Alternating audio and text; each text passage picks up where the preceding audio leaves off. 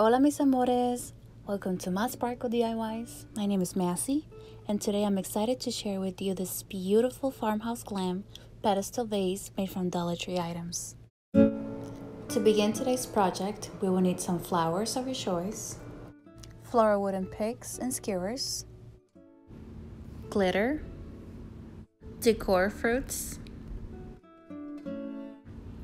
ribbon, floral foam, one bowl, candle holder, glue gun, E6000, sandcastle toy. You can find it in the toy section at the Dollar Tree. Okay, so now we're going to glue the sandcastle and the candle holder together to make a cup shape. I am cutting the tip so I can sand it. So when I glue them together, they have a better bond. You can skip this step and just add the glue. I am using the Waverly Chalk white paint to paint my candle holder and my sandcastle. Okay, now we're gonna glue them together using the E6000 and the glue gun. After you glue them, put some glue between the two pieces so we can paint over the joint to make it look like it's one piece. Give your cup a second coat and add glitter. Okay, so now using the metallic pearl white, the granite gray, the antique white, the country gray, and the sage chalk, we're going to dip our brushes just a little, tap and brush the corner. We want it to look antique.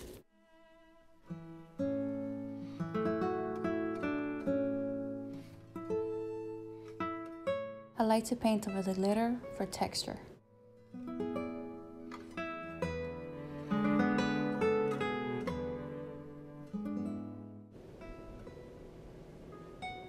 Add some glitter.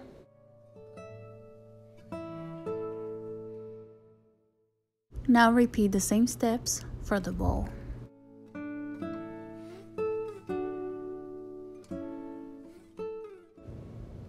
Tap with a towel or a sponge for some texture.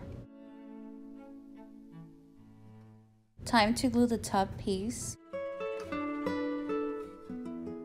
Press down and let it dry for like 2-3 minutes. Okay, so now with the glue gun, fill the gap and smooth the glue fast before it dries to smooth the connection and make it look as one piece.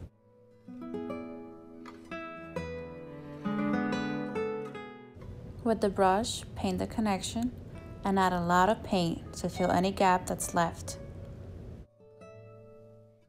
Add glitter. Now we're going to add some metallic antique gold paint for a rusty look.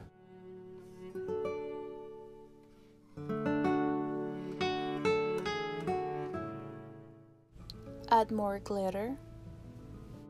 Okay, so now for the final step, brush white very lightly where you added the rusty golden touch. And keep adding glitter until you're satisfied with the look.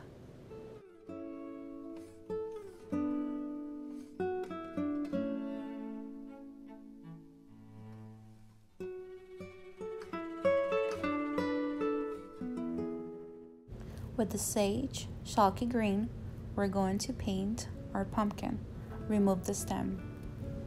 Use a skewer stick to hold your pumpkin while you paint it. Paint the stick.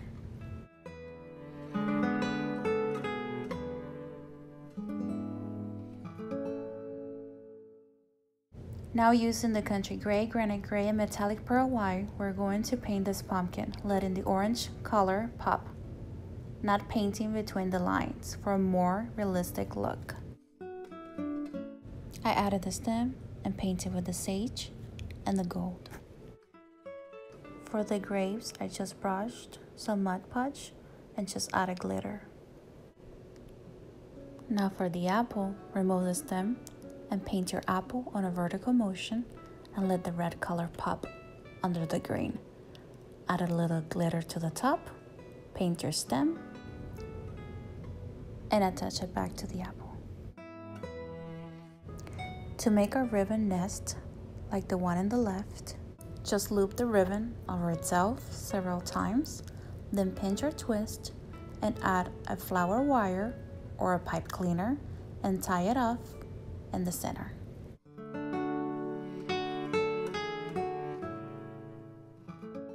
Fluff the loops.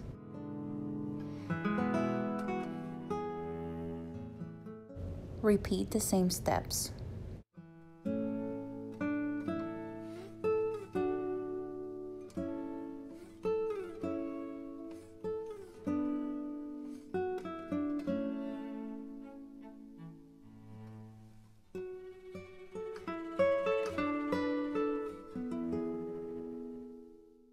Glue your flower foam and insert the flowers you're going to use.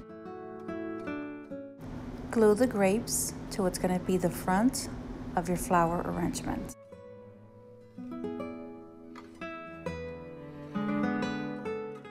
Now insert your fruits and the pumpkins. That little pumpkin is from Hobby Lobby. I got it with the 40% off, super cheap. I added my ribbon to the skewer with the floral wire and just inserted in the flower foam. I have this from last year. I was just reusing it for this project. I attached it to the floral wooden picks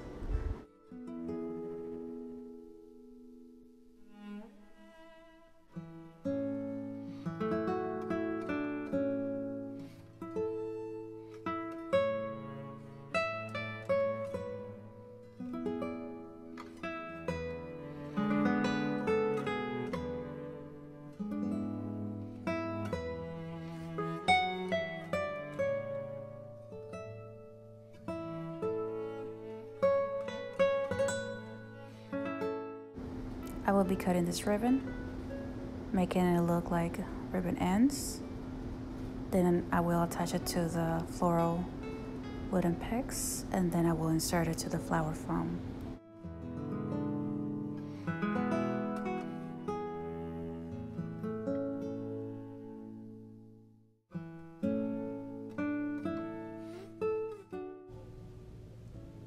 Fill the empty spaces and we are done. I love how this vase has such a big impact between the glitter, the pumpkins, the flowers, and the little details. It's stunning. I can't believe I only spent a few dollars making this gorgeous centerpiece for my buffet table. If you enjoyed this video, please like and subscribe. I will be back soon with many more DIYs. See you soon!